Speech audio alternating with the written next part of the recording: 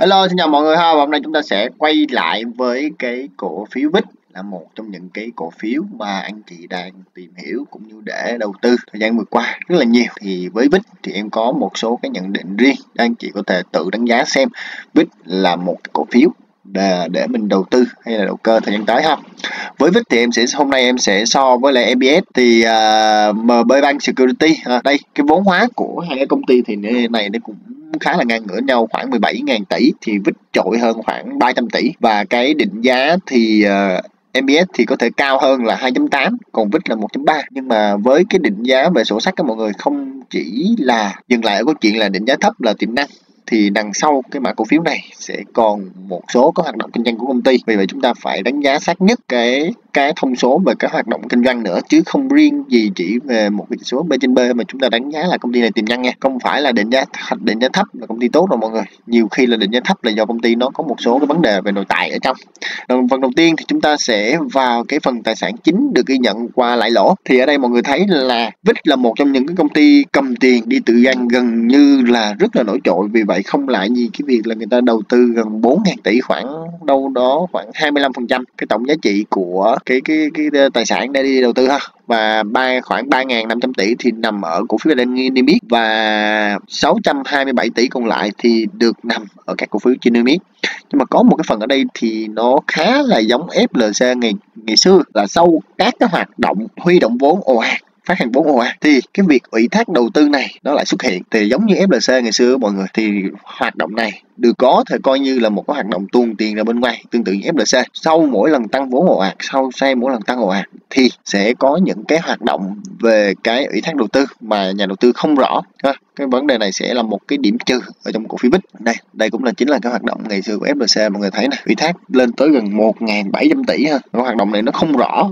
nên là sẽ là một điểm trừ cho vít ở thời điểm này. Tới với cái hoạt động cho vay là một trong những cái hoạt động cốt lõi nhất mô hình kinh doanh chứng khoán, thì với bích thì cũng có một lời khen là từ đầu năm tới giờ tăng trưởng là lên tới gần 40% nó hoạt động cho vay margin nhưng mà mọi người lưu ý phần này là hoạt động này gần như là đây, như em ghi nè, các hoạt động cho vay này thực tế là do các khoản vay cho hệ sinh thái của ghép thôi ha. vì vậy này này nó cũng ở trong cái hệ sinh thái nên chưa có phản ánh nhiều về cái thực chất cái kinh doanh ở ngoài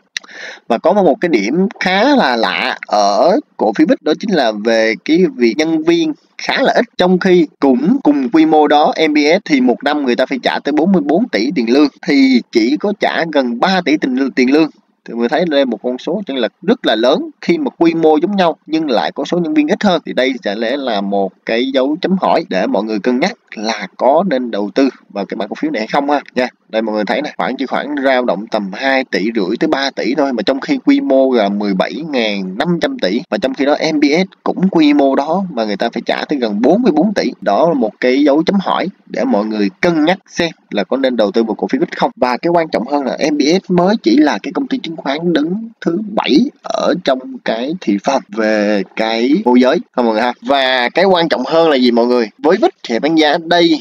là một trong những cái cổ phiếu về cái ngành chứng khoán mà mang yếu tố đầu cơ rất là nhiều. Tại vì sao? Căn bản là ở các công ty chứng khoán khác đa phần sẽ dựa vào cái hoạt động về cho vay margin hoặc môi giới thì nó sẽ dựa nhiều vào cái thanh khoản. Nhưng ờ, vì vậy người ta có thể căn trước đó để có thể tối ưu được cái việc là cái giá đợt này nó sẽ khả năng tăng bao nhiêu. Nhưng đối với vít đó mọi người, thì câu chuyện nó lại hơi khác ở một phần chi tiết, đó là vít thì lại không dựa quá nhiều vào cái hoạt động cho vay margin, hay thì phần môi giới, mà người ta lại dựa nhiều vào cái danh mục tự giác có, nghĩa là mỗi lần báo cáo ra danh mục này xăng thì các tổ chức danh mục này tăng trưởng tốt thì các tổ chức người ta mới đổ tiền vào thì đây cũng là một cái đợt sóng để đẩy cái dòng tiền đầu cơ vào à, chứ nó không có là êm như là cái mô hình kinh doanh chứng khoán mà dựa vào cái hoạt động như là về cho vay margin hoặc thị phần môi giới mọi người ha. ha vì vậy em đánh giá cổ phiếu bích này đang là một trong những cổ phiếu mà mọi người có thể cân nhắc là đây là một trong những cổ phiếu thiên về đầu cơ hơn là cái cổ phiếu về đầu tư dài hạn cho mọi người ha. Thì cái cổ phiếu vít này á, mọi người chỉ cần cân nhắc ở những cái thời điểm, thứ nhất là báo cáo, thứ hai là cái sóng ngành, quan trọng là cái sóng ngành quan trọng ba cái sóng ngành thường là khi nào là, thường ra là khi cái nâng hàng thị trường, thường ra là khi nâng hàng thị trường. Vì vậy chúng ta sẽ tập trung một lượng tiền ít ở trong cái tổng danh mục để chúng ta có thể vào cái cổ phiếu VIX thời điểm tới. Nếu như VIX có khả năng quay trở lại theo sóng ngắn và cái câu chuyện ở đây là chúng ta sẽ vào vùng giải nào, thì với VIX thì mọi người có thể thấy hiện tại VIX đang ở xu hướng giảm là chủ yếu. Vì vậy, có một cái điểm mua mà anh chị có thể cân nhắc đối với VIX đó là đâu đó, nếu muốn an tài nha, hãy để VIX về gần 10 ngàn, khoảng là 10 ngàn ờ, 10 ngàn chấm 100 10 ngàn chấm 200 và 10 ngàn chấm 300 đó sẽ là những cái điểm hoặc là chỗ maximum là 10 ngàn 6 hoặc là 10 ngàn 5 thôi. Sẽ có sai số tại cái vùng đó để mình cân nhắc mua lại bit thời gian tới. Tại vì căn bản đây mọi người có thể thấy là bích vẫn còn một cái hỗ trợ tại 10.200 đồng. Thì đây sẽ là một cái hỗ trợ lớn tại khung tuần và có dấu hiệu là nó sẽ còn bền, còn duy trì được bền bỉ cái hỗ trợ này. Vì vậy chúng ta hãy cân nhắc, hãy cân nhắc có thể trích ra một phần tổng tài sản trong danh mục để có thể lướt một cái cổ phiếu đầu cơ như vậy. Tại vì căn bản vít thì dựa nhiều vào cái hoạt động kinh doanh, hoạt động tự doanh tự doanh tốt thì vít mới có thể gọi là gọi là gọi là bật tăng mạnh trở lại. Còn bây giờ không dựa vào nhiều cái hoạt động cho vay cũng như là môi giới thì cái nguồn thu nhập nó cũng không ổn định vì vậy nó cũng là một điểm trừ tiếp theo cho vít so với các cái ờ, mã chứng khoán khác ha. Đây sẽ là một mã chứng khoán